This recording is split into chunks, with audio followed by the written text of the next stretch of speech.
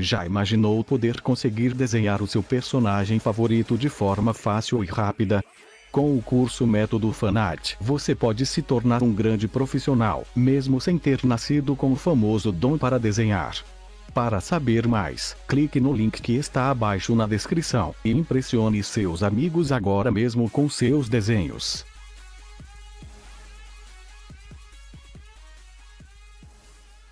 Quem é o famigerado cuspidor de espinhas de peixe que está naquela cela ao lado do Luffy? Se liga, eu vou falar nisso agora.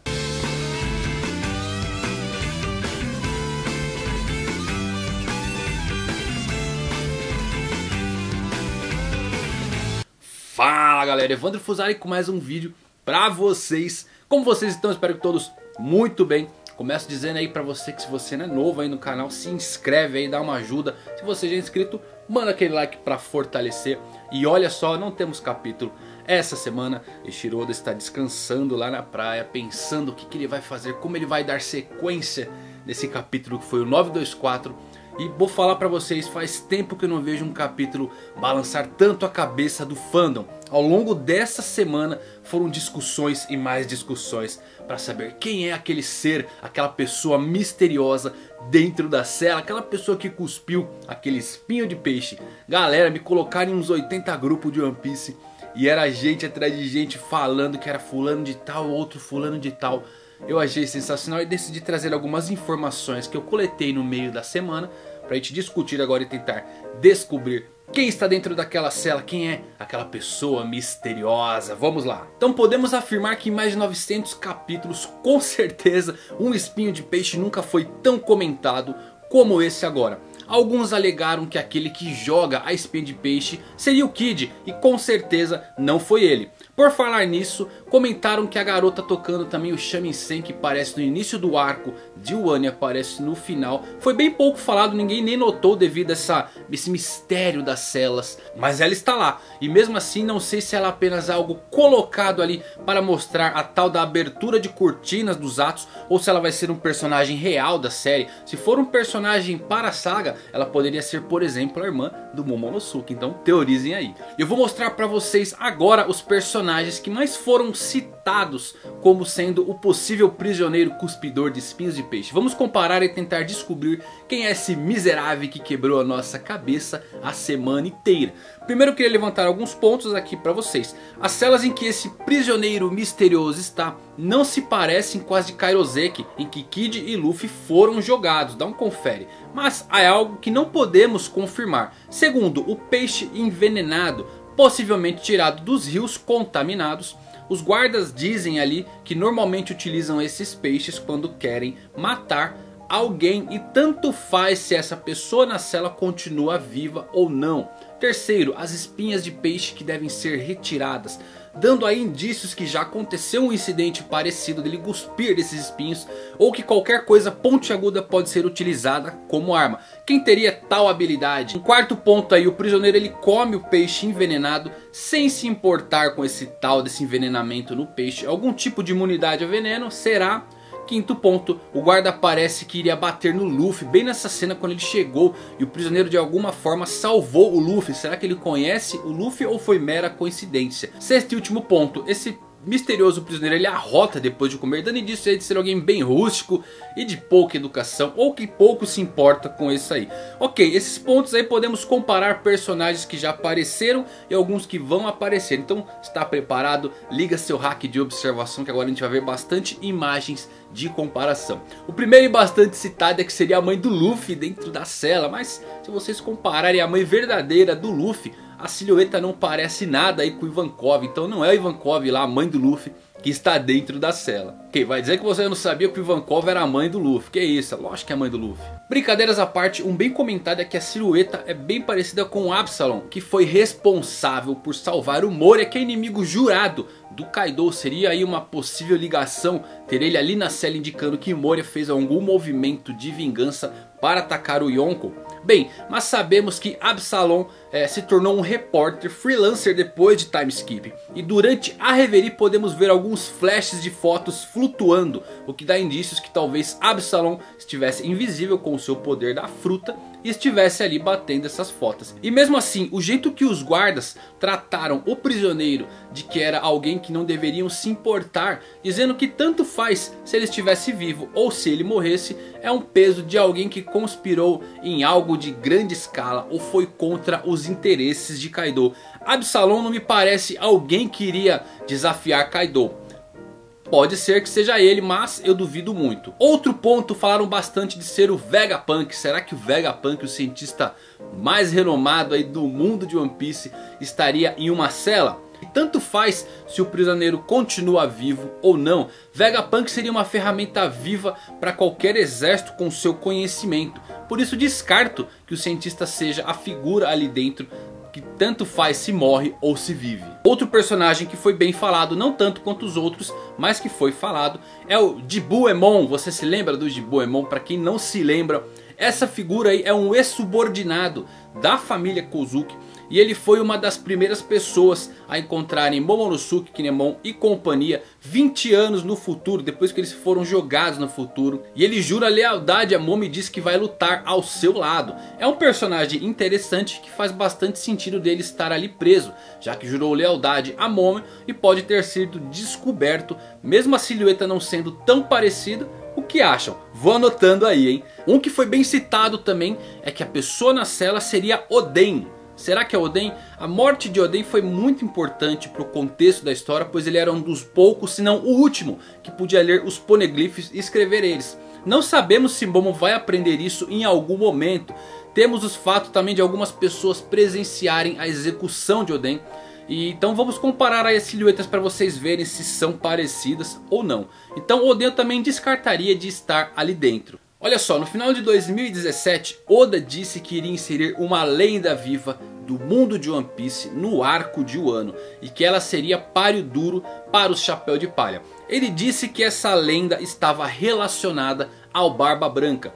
Bom, pode ser que a lenda fosse o Kaido ou será que teremos um outro prisioneiro poderosíssimo aparecendo? Ou podemos ter também uma outra lenda viva, quem sabe, mas que ao invés de entrar no caminho de Luffy e companhia, o ajudasse. Com esse pensamento alguns disseram que poderia estar lá dentro era um dos piratas lendários Scooper Gaban, que era um ex-membro da tripulação dos piratas de Roger. Seu paradeiro atual desconhecido, ele poderia ser um aliado nas batalhas ou alguém que vá treinar eles. Seria muito legal ter outro pirata do Roger aparecendo, mas a silhueta e o contexto da história não nos dá muitas brechas para afirmar que seja ele. Mas podemos teorizar. E eu queria assim que aparecesse um novo pirata dos Rogers. Seria muito legal. Já aproveito para perguntar. Além da Viva é Kaido. Vocês acham que é ele ou vai aparecer alguma outra monstruosidade do mundo de One Piece nesse arco de Wano? Bem legal foi uma citação do Oda. Bom, confirmar personagens pela silhueta e pelos olhos tem sido um grande problema.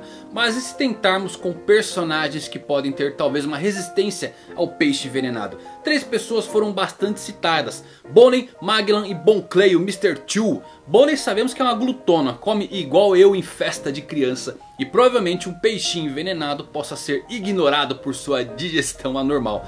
Magellan tem a fruta com poderes de veneno. E a sua maior peculiaridade é que Magellan tem uma grave diarreia depois de consumir frequentemente comida envenenada. Então a sua Akuma no Mi lhe dá a imunidade de realmente estar sendo envenenado, mas não o poupa de diarreia. E Clay pode ter adquirido certa imunidade após a luta com Magellan. Mas aqui caímos em um ponto chave, como diabos algum desses personagens iria aparecer em uma cela de Wano. Clay virou a nova rainha de New Kama Land assumindo o posto da mãe do Luffy de Vankov. Magellan mesmo rebaixado ainda estava responsável por Impel Down. Fora que não vimos ele ter os surtos de diarreia após comer o peixe envenenado. E Bonnie estava na reverie de luto. Fora que se compararmos novamente as silhuetas, não bate com nenhum deles. Esse misterioso prisioneiro tá difícil de descobrir galera. Mas ele também poderia ser, sabe quem? Um dos três samurais que Kinemon mencionou anteriormente. Nós já sabemos que Ashura Doji, também conhecida aí como Shuteimaru, é uma dessas três figuras. Portanto ainda há dois samurais que não foram mostrados pra gente. Kawamatsu e Denjiro.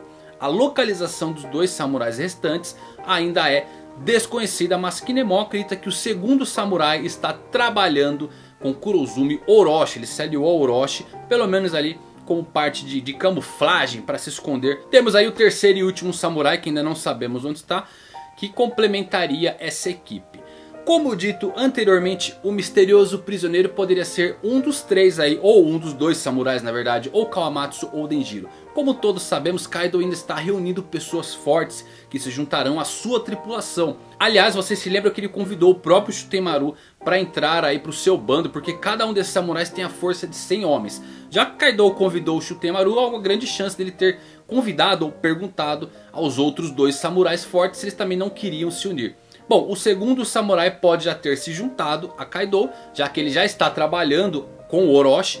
E o terceiro samurai pode ser esse misterioso homem que está aprisionado, mesmo não sabendo qual dos dois seria. Ao contrário de Shutemaru que conseguiu fugir, o terceiro samurai não teve a mesma sorte e ele foi capturado e colocado ali naquela cela. Kaido disse que ele iria quebrar os espíritos desses prisioneiros até que eles se juntassem à sua tripulação pirata. Mas parece que esse samurai misterioso tem um forte senso de vontade e integridade, muito semelhante ao Kid, que mesmo bem machucado ainda mantém o seu espírito a todo vapor. Por questões de trama talvez sim seja um desses dois aí, talvez é bem plausível que seja um dos dois samurais lendários que estejam ali dentro.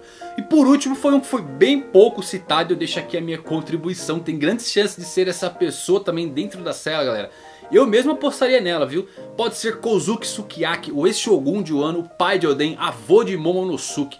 Sukiyaki governou o Wano como Shogun há mais de 20 anos atrás. O seu filho Kozuki Oden foi exilado da capital das flores depois de várias lutas violentas. O que mostra aí que Sukiyaki era alguém justo, pois exilou seu próprio filho.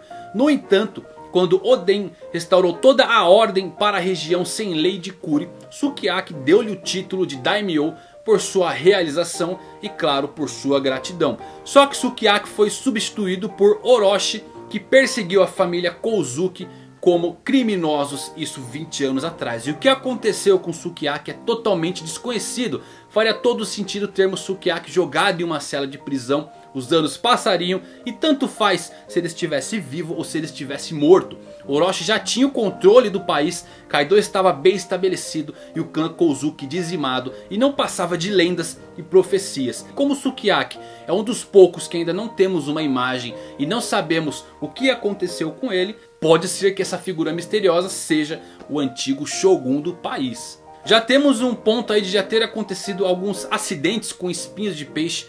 O que dá indício que o prisioneiro está ali há um bom tempo. E o fato dele arrotar e não se importar com isso. Bem, pense o seguinte. O que 20 anos preso pode fazer com alguém? Etiquetas e bons modos com certeza não seriam algo a ser mantido nesse período. Fora que ninguém sabe quem está lá dentro. Alguém que foi totalmente esquecido até mesmo pelos guardas. O que vocês acham galera?